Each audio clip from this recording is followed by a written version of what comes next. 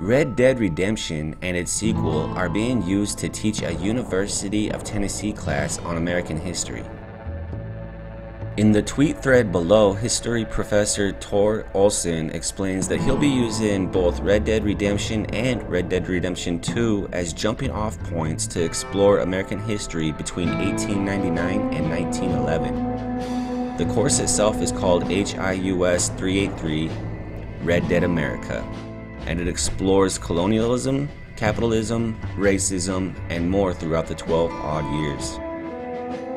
It's important to remember that Olsson merely uses Rockstar's games as a beginning point to discuss the period in American history. This is mainly because in the tweet thread above, Olsson notes that both Rockstar games are often historically inaccurate but can be used to inform and begin greater discussions around the historical period. Note that you don't have to own a PC or console to take part in Olsson's course at the University of Tennessee, although the professor does assume that the majority of students in attendance will be familiar with both Rockstar games. Additionally, Olsson hopes that his unorthodox approach of using video games to begin historical analysis will attract students who wouldn't ordinarily attend a history class.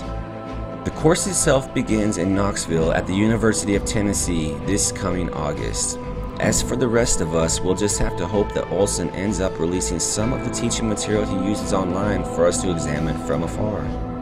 In news more closely related to Rockstar's sequel, data miners working on Red Dead Redemption 2 think they found files that could be related to the unannounced GTA 6 after stumbling on files relating to parachuting. The data miners think the unused items could be related to Rockstar's next project rather than the historical game. Let me know what you think about this because I don't understand exactly the correlation between the parachutes and GTA 6.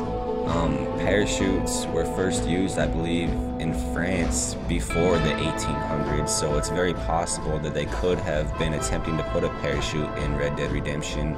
But let me know in the comments what, what you believe.